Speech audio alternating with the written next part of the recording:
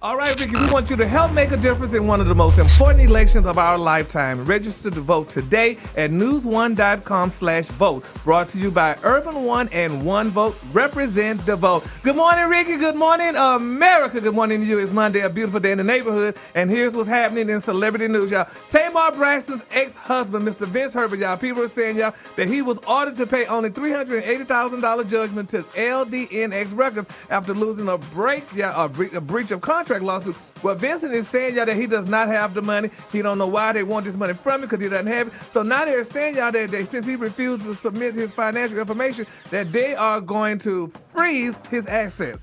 Now, I mean, if he don't have the money to pay, Wait why a minute, would who? they- Vince, um, um, Tamar's ex-husband, which a lot of people saying um, Tamar should at least help him because at the time when he went through all this lawsuit stuff, they were together.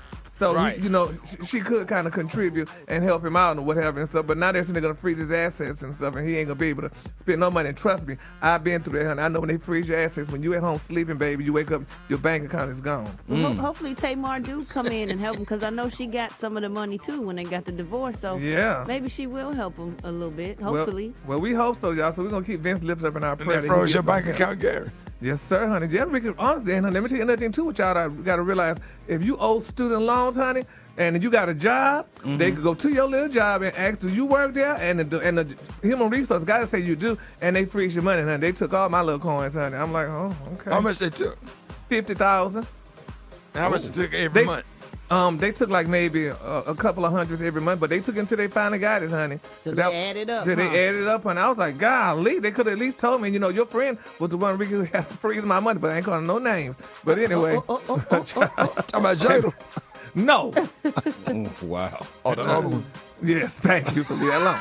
But anyway, child, they sure did. I was like, girl, I was sick, and I'm like, well, what I'm working for? It wasn't two hundred dollars. But hell, but still, that was two hundred dollars I didn't know about, honey, until I checked my check, honey. And these girls were like, honey, we gonna get it until we get all your money. So that degree on my wall, honey, is paid for. I So I just look at that piece of paper. I'm like, girl, this is how much you cost. So anyway, moving on, honey. Another celebrity news, y'all, honey. Um, Cardi B. A lot of people saying y'all Cardi B may be charged with child abuse. Now it was reported that Cardi B, honey, was with her daughter, little um, Kulture Kiari Cephus, and they're saying she was at an event and she was drinking on a s- strawberry um Ensure shake. They're saying the baby was one of the shake, so Cardi would give her the straw like here you can have some, and take the straw from her and wouldn't give her none.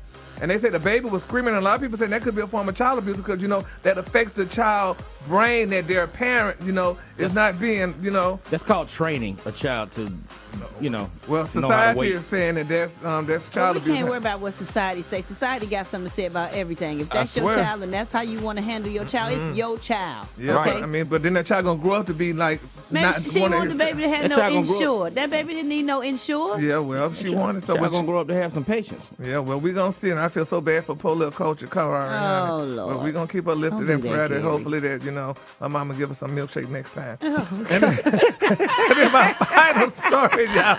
Kenya, baby, from Real Housewives of Atlanta. Last night, Rickey, it was a mess, honey. Kenya was attacking Post Cynthia, honey, and her wine company. Now, honestly, I called my friend Chanel because Chanel is the wine lady, honey, and I called her to say, please, if you could just help Kenya out. I mean, um, um, um, uh, Cynthia. Cynthia out because I mean, Kenya was saying, okay, well, girl, if you like wine and you do wine, honey, what kind of wine goes with pork? What kind of wine goes with this? How do you drink this wine? She went on and on, and I'm like, girl, Yeah, I wonder why she was doing that though. Maybe to take some of the heat off of her situation and Right, try to put it on somebody else. But that's not nice. I mean, just attacking. I mean, I felt so bad. And I love Kenya dearly, honey, but I'm just like, golly. And Cynthia just sat there, honey. But and I you remember know. them saying something to Cynthia like, "Girl, you ain't know she was shading you." Yeah, she said she didn't even know child. She said she was just playing up a child. You know, now with this new shade thing, honey, shade comes in so many forms. Now you'll never know when you're shaded, Rickey. Okay. Mm-hmm.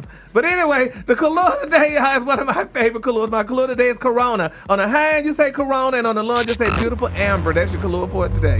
All right, y'all, give it up.